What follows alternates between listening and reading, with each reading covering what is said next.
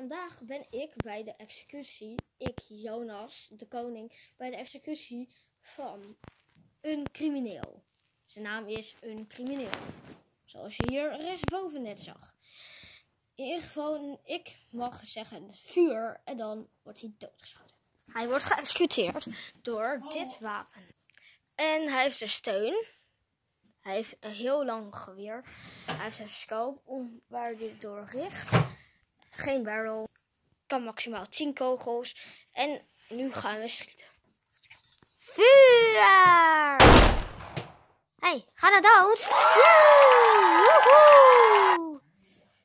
Daar is de kip. Nu gaan we verder met de executie van een heel groot crimineel. Hij heeft geen zin om te staan, daarom gaan we schieten. Klaar om te schieten en... Hij wil niet dood.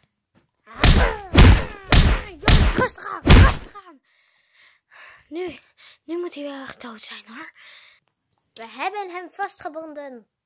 Nu zal hij echt doodgaan. Recht. Geen zin.